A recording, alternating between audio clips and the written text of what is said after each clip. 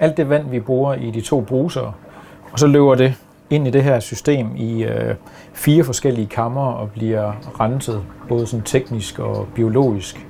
Øh, og så det, der kommer ud, det er faktisk drikkevandskvalitet, og det bruger vi så i de to toiletter i, og i, i vores vaskemaskine herover.